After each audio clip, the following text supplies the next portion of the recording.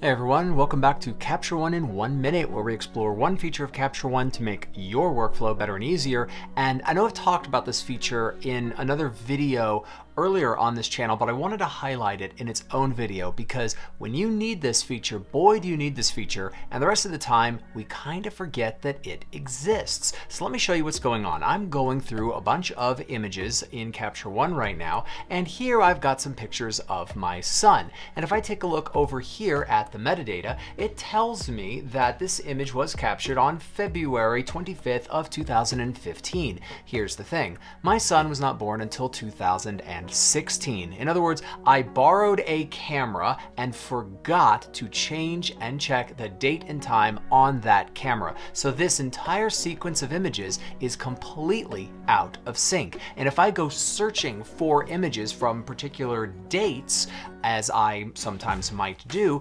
these will not show up appropriately. And you can affect this in Capture One. Let me show you how.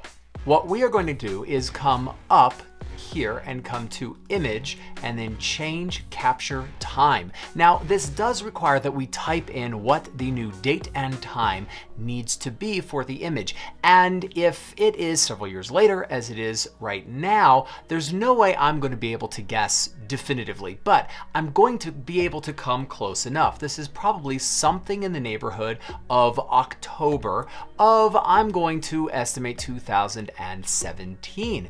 And I'm going to say that this was probably something like, let's go ahead and say 10 o'clock in the morning. That's not going to be exact, but it's going to be close enough. And now I'm going to update it.